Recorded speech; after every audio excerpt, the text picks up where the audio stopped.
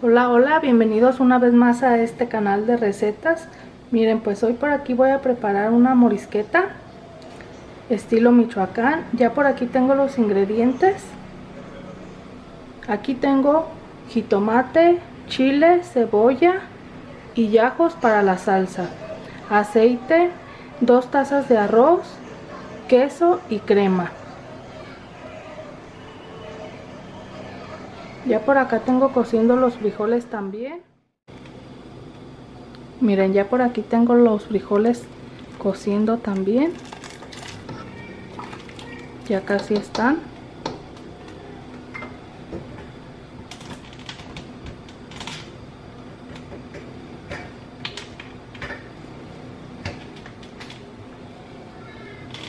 Por aquí tengo la olla donde voy a poner a cocer la carne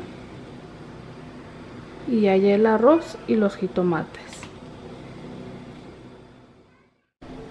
Miren ya por aquí voy a estar poniendo a cocer la carne. Aquí ya la tengo lavada. Oh, se me olvidó comentarles también vamos a ocupar costillita de puerco. Ya por aquí la tengo lavada. Ya tengo esta olla con un pedazo de cebolla y ajos y la voy a estar poniendo a cocer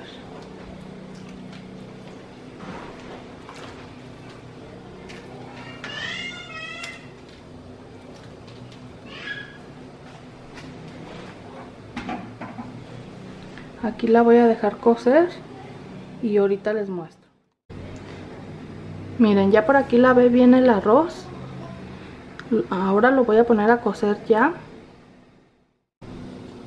Miren ya por aquí tengo todo cociendo. Ya tengo los jitomates con los chiles el arroz. Ahorita ya lo voy a tapar que empiece a hervir. Por acá ya están los frijoles que ya casi van a estar porque una morisqueta sin frijoles de olla no, son, no es morisqueta. Y por aquí ya tenemos la carne también. Miren. Ahorita le voy a quitar toda esa grasa. Y pues esto es rápido, fácil y muy delicioso. Bueno, regresamos en un momento. Miren, pues ya por aquí estoy dorando la carne. Ya estuvo. Ya estuvieron también los chiles y los jitomates. Ya estuvieron los frijoles también. Y por aquí ya estuvo el arroz.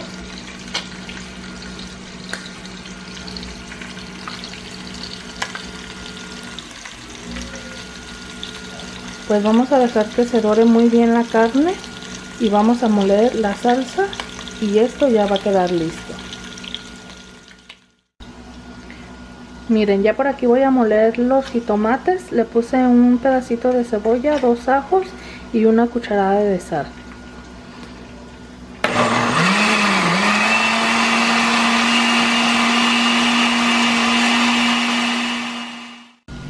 Pues así es como va quedando la carne. La voy a dejar dorar un poco más. Y esto ya va a estar listo.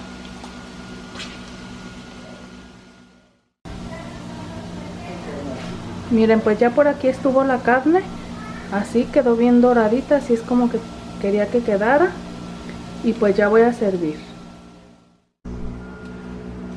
Miren pues así es como quedó la salsa. No muy espesa ni tampoco muy líquida.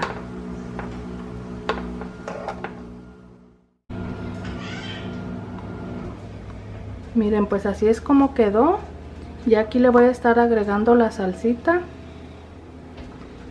Aquí arriba de la carne nada más.